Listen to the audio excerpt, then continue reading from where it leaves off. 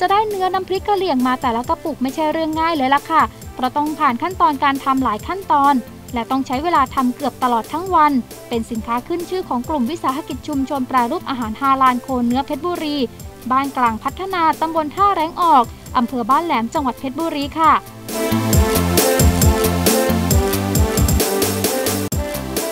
เนื้อที่นำมาแปรรูปรับซื้อมาจากสมาชิกผู้เลี้ยงโคเนื้อในชุมชนสำหรับเนื้อที่เลือกนำมาใช้มีสะโพก ลูกฟัก และมะพร้าว หรือเนื้อส่วนช่วงขาหลังนำมาแปรรูปเป็นเนื้อแดดเดียว ส่วนเนื้อลูกฟักและเนื้อพื้นท้องนำมาแปรรูปเป็นเนื้อฝอย เนื้อฝอยสมุนไพร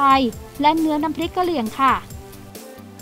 คุณผู้ชมคะขั้นตอนการทำเนื้อน้ำพริกกะเหรี่ยงนะคะ ก็เริ่มจากนำเนื้อลงไปต้มทิ้งไว้ประมาณ 45 นาทีค่ะ หลังจากนั้นนะคะ จึงจะนำเนื้อมาทุบค่ะ แล้วก็จะทุบเป็นแผ่นๆนะคะ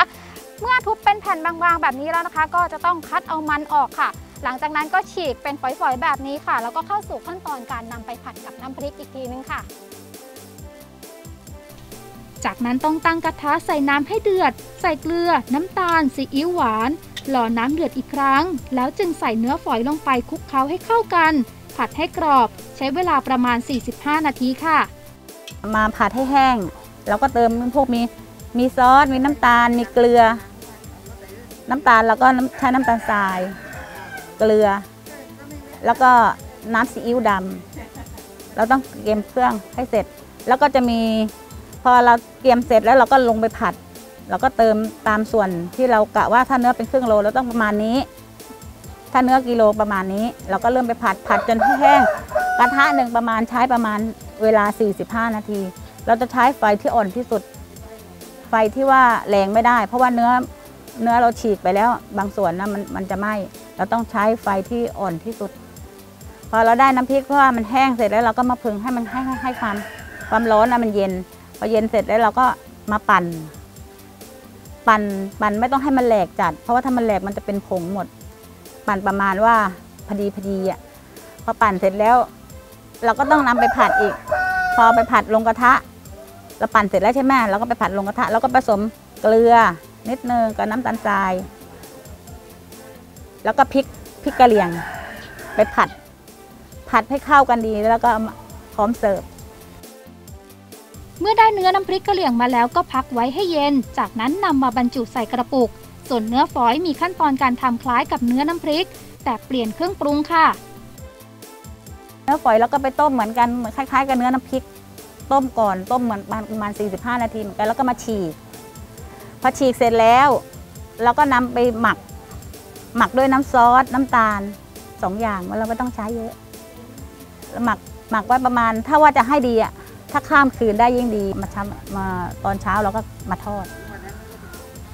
มาทอดเสร็จแล้วก็ผึ่งให้เย็น แล้วก็ทำให้น้ำมันมันเสด็จ แล้วเราถึงจะผสม ผสมก็คือถ้าเป็นเนื้อฝอยแล้วก็ผสมไอ้นี่อย่างเดียวคือหอมหอมเจียว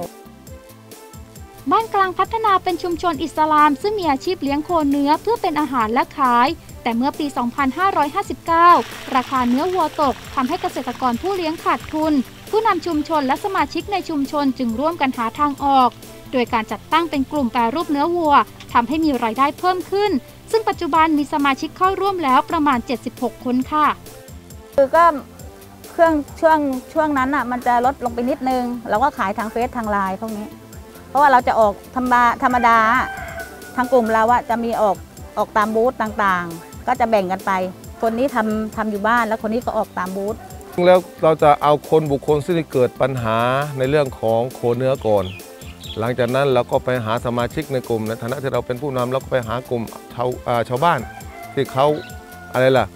ว่างเว้นจากการงานมาช่วยมาอยู่ในกลุ่มกัน เพื่อจะได้ให้มีรายได้ตรงนี้เกิดขึ้น แต่ถามว่าในช่วงวัยที่ว่าคนที่มีเนี่ยตั้งแต่เด็กเย็นคนสูงอายุ ในเรื่องของเด็กทำไมเด็กถึงต้องม่มีส่วนร่วมตรงนี้ ก็เนื่องจากผู้ปกครองพ่อแม่เขามามีส่วนร่วมมาเป็นสมาชิกในกลุ่มนี้ เขาก็เลยเอาลูกเอาหลาน เข้ามาช่วยกันเป็นสมาชิก ช่วยกันระดมหุ้นตรงนี้ด้วย ผลิตภัณฑ์ของทางกลุ่มที่ได้รับความนิยมมีเนื้อน้ำพริกกะเหรี่ยง 130 กรัม มีราคาขายกระปุกละ 150 บาท เนื้อฝอยสมุนไพรและเนื้อฝอย 100 กรัม ขายกระปุกละ 130 บาท เนื้อแดดเดียว 100 กรัม ถุงละ 130 บาทค่ะ แต่ละครั้งจะทำเนื้อแดดเดียวประมาณ 10 กิโลกรัม หากลูกค้าสั่งซื้อจึงจะทอดและซีนใส่ถุงพร้อมส่งขาย ส่วนน้ำพริกและเนื้อฝอยจะทำครั้งละ 5 กิโลกรัม ซึ่งทุกขั้นตอนตั้งแต่เข้าโรงเชือด และอาหารต่างๆ ที่ทำจากเนื้อวัวได้รับการรับรองมาตรฐานฮาลาลและออยเป็นที่เรียบร้อยค่ะ